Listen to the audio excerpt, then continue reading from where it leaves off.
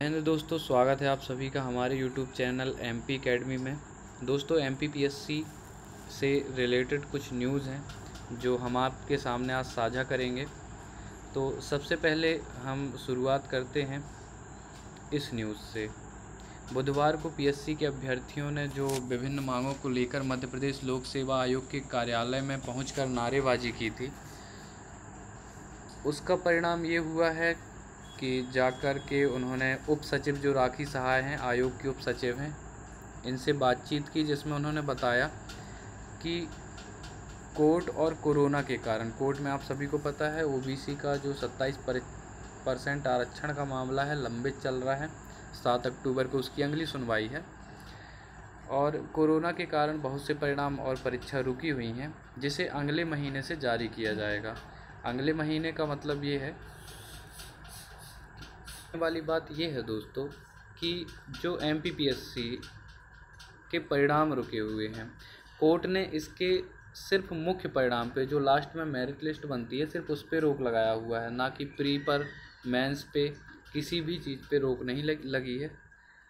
Last में जो merit बनती है, उस पर रोक लगी हुई है। तो इन्होंने यही बोला है, जो उप सचिव राखी सहाय हैं कि रिज़ल्ट अभी तक नहीं आया है 2019 की मुख्य परीक्षा का रिज़ल्ट नहीं आया। 2020 का जो प्री हुआ था, उसका रिज़ल्ट नहीं आया है और 2021 का जो नोटिफिकेशन आना था, वो भी नहीं आया है। तो इस वीडियो में हम यही जानेंगे कि ये सब कब आ सकते हैं। सबसे पहले हम बात कर लेते हैं M P P S C दो हज़ार उन्नीस का जो मेंस रिज़ल्ट डेट है। ये, इसकी पूरी पूरी संभावना है कि ये 10 से 15 दिन के भीतर इसका रिज़ल्ट आ जाएगा 2019 के मेंस का रिज़ल्ट आ जाएगा। दोस्तों, आज एक अक्टूबर को ये बात बोली जा रही है, ठीक है? तो आप ध्यान रखिएगा 10 से 15 दिन के अंदर इसका रिज़ल्ट आपको देखने को मिल जाएगा। इसके बाद बात करते हैं, जो M P P S C दो हज़ार प्री है, इसके रिज़ल्ट में थोड़ी सी देरी होगी, क्योंकि आपको सभी को पता है। इस पर अभी कोर्ट में रोस्टर सिस्टम की भी बात चल रही है, रोस्टर सिस्टम को हटाने की बात चल रही है। और ओबीसी को चौदह परसेंट आरक्षण देने की बात हो रही है, क्योंकि आप सभी को पता है ट्वेंटी सेवन परसेंट अगर दे दिया जाता है ओबीसी को तो वो रिजर्वेशन जो है सिक्सटी थ्री परसेंट हो जाता है। और साथ ही ओबीसी वालों का भी एक ऑब्जेक्शन है कि अगर ऐसी बात है, अगर ट्वेंटी सेवन परसेंट ओ को आरक्षण देने से सिक्सटी थ्री परसेंट होता है तो जो ई e का दस परसेंट का आरक्षण है, इससे भी तो प्रभावित होता है अपना रिजर्वेशन सिस्टम तो बहुत सारी बातें हैं। है ना?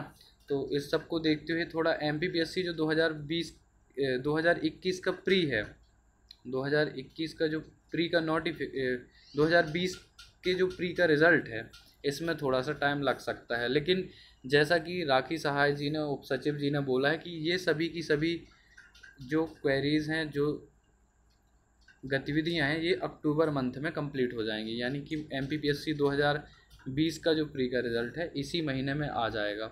अक्टूबर मंथ में आ जाएगा।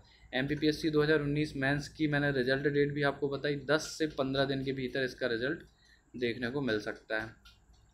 अब बात आती है M P P S C दो हज़ार इक्कीस के प्री के नोटिफिकेशन की तो दोस्तों, इस पर तो कोई भी बिल्कुल भी रोक नहीं है।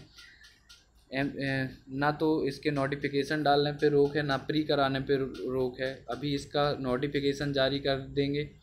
फिर एग्ज़ाम भी कंडक्ट करा सकते हैं प्री का इस पर कोई रोक नहीं है। रोक सिर्फ़ लगाई गई है मेरिट लिस्ट पर।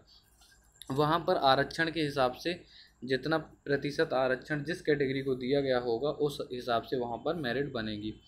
तो दोस्तों 2021 का जो नोटिफिकेशन है, ये आपको तीन से चार दिन के अंदर मिल जाएगा। ठीक है? तो आज एक तारीख है, छः से सात अक्टूबर तक आपको M P P S C दो हज़ार इक्कीस का नोटिफिकेशन देखने को मिल सकता है। बने रहिए हमारे साथ। इसी तरह की डेली अपडेट के लिए सब्सक्राइब कीजिए हमारा चैनल जय हिंद, जय भारत।